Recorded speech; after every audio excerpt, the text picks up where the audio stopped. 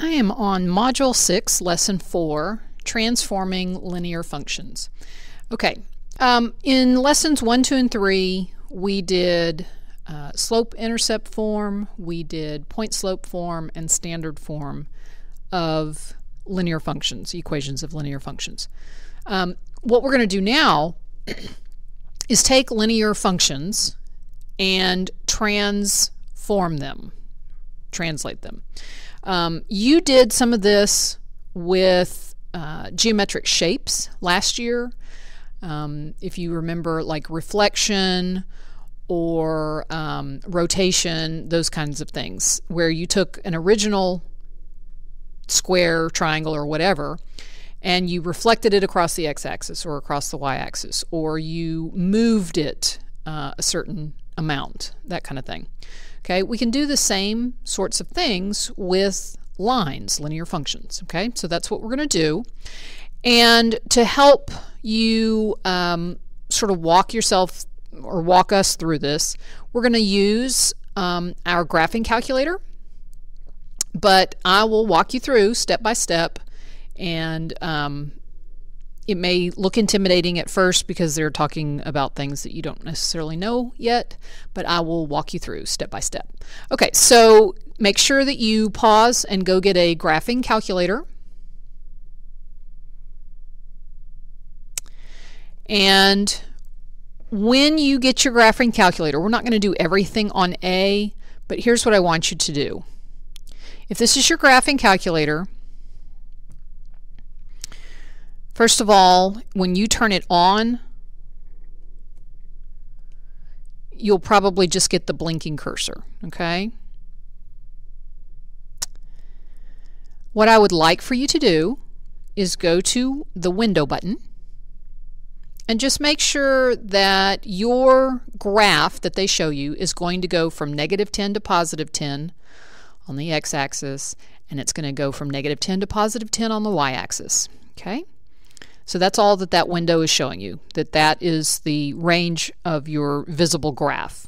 Okay, so if you go to the graph button, that's what they're that's what it should look like. Now, notice your window on your graph is not square.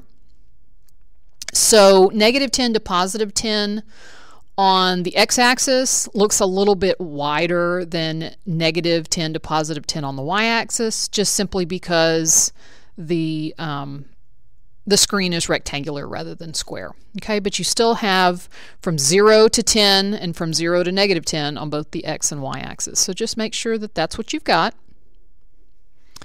Okay, so that kind of takes care of what they're sort of asking you with A, but we did it a little, little simpler. All right, and then we're going to go to B, and it says graph the function f of x is equal to x by entering or by pressing y equals. Okay, so again, on your graph, you're going to go to the y equals button. And we're going to just put in y equals x. Or if you think about it, that would be y equals 1x plus 0. Okay? And then after you do that, hit the graph, and it draws the line for you. Okay? Then, to show you what happens when you change the y-intercept, we're going to graph some other functions. So right now, if you want to go back to y equals, right now, literally your equation is y equals x plus 0. The, the y-intercept is 0, okay, because it goes through the origin. Um, but let's do some other lines where we keep the x, so the slope is still going to be 1, okay, y equals x but we're going to change the y-intercept. Okay, so let's make a second line. Um, x, let's say, I don't know, plus 3. Okay, so the slope is 1, and the y-intercept this time is 3. We'll make another one. x, but this time we're going to say the y-intercept is negative 3. Okay, hit the graph button. You now have three lines that should show up, and they're drawing the second and third line. Okay, So what we did basically is we took that original line and we translated it up when we gave it a positive 3 for the y-intercept. Take that original line and we translated it down when we gave it a negative 3 for the y-intercept. Okay, so f of x equals to equals x. That's kind of the same as us saying y equals x. There's our original line, our very simple line. The slope is the coefficient in front of the x, which is not written, so we know that it's 1. And then there's no b written either, so we know that the y-intercept, in this case, is 0. Okay? F of x is equal to x, or y is equal to x. Um, you may hear me refer to it as the parent function. So, for instance, like what I'm saying is this, in a lot of cases, is going to be the basic function that we start with, and then we're going to change some things and see how that affects it. Okay? But for the first couple of things that we did, remember we did these three lines, what do all of the graphs have in common? Well, you noticed that the coefficient in front of 1 didn't change. So the slope was the same for all of them.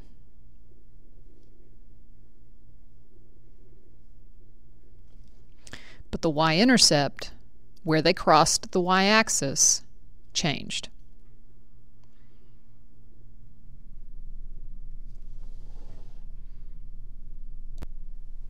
Okay, let's look at number one. It says a vertical translation moves all points on a figure the same distance, either up or down and that would apply to our line that we just drew. Okay, use the idea of a vertical translation to describe what happens to the graph of f of x equals x plus b when you increase the value of b and when you decrease the value of b. Okay, so basically if we start with our parent function, the original function before we do anything with it, f of x is equal to x, when we rewrite it with a positive b, f of x equals x plus b, that means that whole entire line is going to move up the y-axis. When we take the parent function f of x is equal to x and we give it a negative b, then that's going to take the whole line and move it down, which is what we saw when we looked at our graph. Okay, remember the middle one is the original, f of x is equal to x plus b is the top line. f of x is equal to x minus b is the bottom line. Okay? So we've just taken the whole line and either shifted it up or down. The slope remained the same. Okay, so before I go on to the next page, you might want to make just a note that this whole explanation on this first page was when we changed the y-intercept value, when you change the value of b, okay? And that caused the whole entire line to just shift up or shift down, okay? When you're changing the b value. Remember that we didn't do anything to the slope. All right, I'm now on page 282, and this time it says building new linear functions by stretching, shrinking, or reflecting, okay? Investigate what happens to the graph of f of x is equal to mx. Remember, m is the slope. When you change the value of m. So this time, we're changing the value of the slope, and we're going to see what happens and what that looks like. Okay. So take your graphing calculator, clear out all but the parent function. So go to the y equal button. Okay. Hit the little, here, let me Okay, hit the little down button right there, clear, down button, clear. Okay, so I just have y1 is equal to x, so that's my original or parent function. And this time we're going to change the slope. Okay, so in the next one maybe we'll put um, y equals 2 x. And in the next one, we'll put y equals 4x. Okay, so this time the y-intercept hasn't changed, but we have changed uh, the value in front of the x. So we have 1x on the parent function, 2x, and then 4x. Okay, and then we're going to hit graph to see what. Okay, so there's the parent function, and then there's 2x, and then there's 4x. Okay, it says what do the graphs have in common? How are they different? All right, well, let's look. What do they have in common? Well, it looks like they are all going through the origin. Or you could say they all have the same y-intercept, which is 0. How are they different? Well, they all have different slopes because that's what I changed when I went to the y equals button and put in some new equations. As the value of m increases from 1, does the graph become steeper or less steep? Well, clear this. Let's do that again. Clear. Hit the graph. It will give you the original, then the 2x, then the 4x. Okay.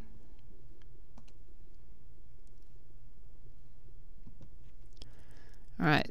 The original, and then 2x is steeper, 4x is even steeper than that.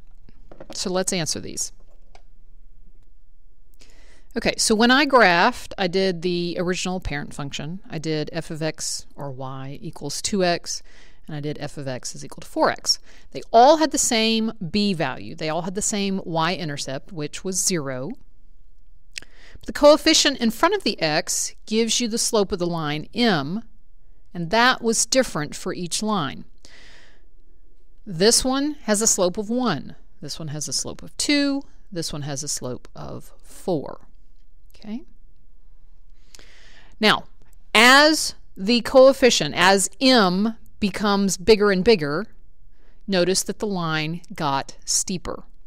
Okay, so make sure to make a note of that. Okay, so I just jotted that down as an answer. All right, and then we're going to do B. It says again to press the y equals and clear out all but the parent function. Okay, so we're going to do that. y equals We'll leave the first one, but we're going to clear this one, clear this one. Okay. It says then graph other functions of the form f of x is equal to mx by entering their rules, uh, but this time use only values of m that are less than 1 but greater than 0. So for instance, maybe 0.5 and 0.2. Okay, so I've got x, so 1x. Uh, my second graph, I'll do 0.5 x. Uh, and then I'll do 0.2 x. Okay, when I hit the graph line, remember, it's going to graph y1 first, and then y2, and then y3. So here we go. y1, y2, y3. Okay, so you should notice that as the slope gets smaller, the lines get closer to horizontal. The, the lines get less steep or flatter. Okay? Okay. So I just wrote, um, it says as the value of m decreases from 1 to 0, does the graph become steeper or less steep? So remember, I started off with f of x is equal to x, and then I did f of x is equal to 0.5x, f of x is equal to 0.2x. And as my m got smaller and smaller, so from 1 to 0.5 to 0.2, the line becomes flatter. If I put a 0 in in front of my x, you would notice that I would get a horizontal line because the slope is 0. And when the slope is 0, that's a flat horizontal line. Okay, join me for the next screencast and we'll pick up where we left off.